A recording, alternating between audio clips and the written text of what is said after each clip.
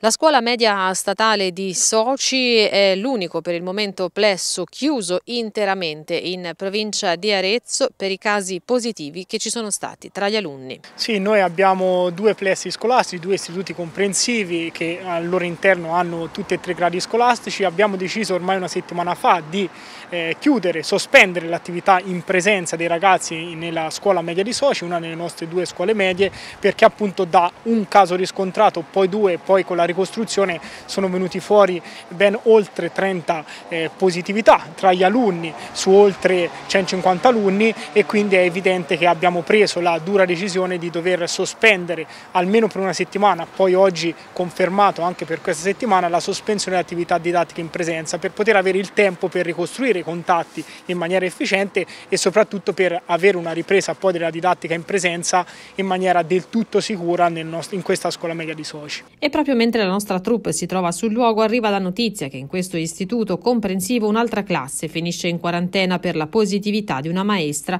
nella scuola materna. La notizia corre sui social, come spesso accade, ma ci assicura il dirigente che dopo pochi minuti la conferma della ASL arriva e i bambini vengono rimandati tutti a casa. È un secondo tampone che eh, è stato ehm, eh, eh, rivelatore questa mattina perché nella giornata di sabato c'era una, mm, una, positività bassa carica. Ora la norma non prevede la chiusura per la positività bassa carica ma solamente per una positività senza questa, senza questa addizione a bassa carica. Pertanto noi ne abbiamo discusso a lungo sabato di questa questione e poiché il protocollo non prevedeva la chiusura, sabato non è stato chiuso un bel niente. Stamattina, in tempo reale, perché lei adesso che ore sono? Adesso sono mezzogiorno e 46, questa cosa è già successa da qualche ora, stamattina è arrivata questa conferma di un secondo tampone.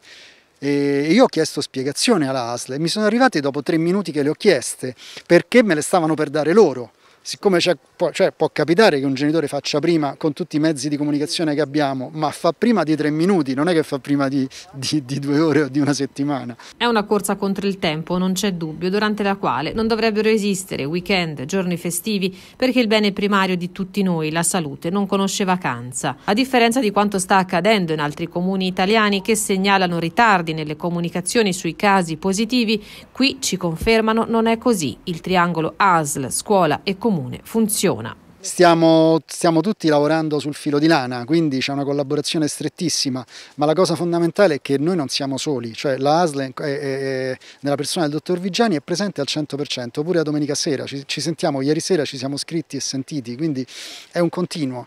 E può capitare, è capitato di chi essere avvisato la domenica, venire a scuola e che contattare le famiglie degli alunni da mettere in isolamento. Questo succede, è normale che accada vista l'emergenza e, e sta funzionando molto bene. Anzi, guardi, io ho letto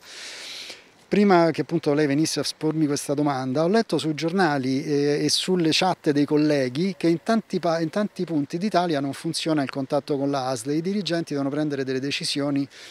eh, da soli. Qui questa cosa non sta succedendo, assolutamente non sta succedendo. Io prendo le decisioni sulla base di quello che mi dice la ASL e poi tra l'altro sono in strettissimo contatto con il sindaco,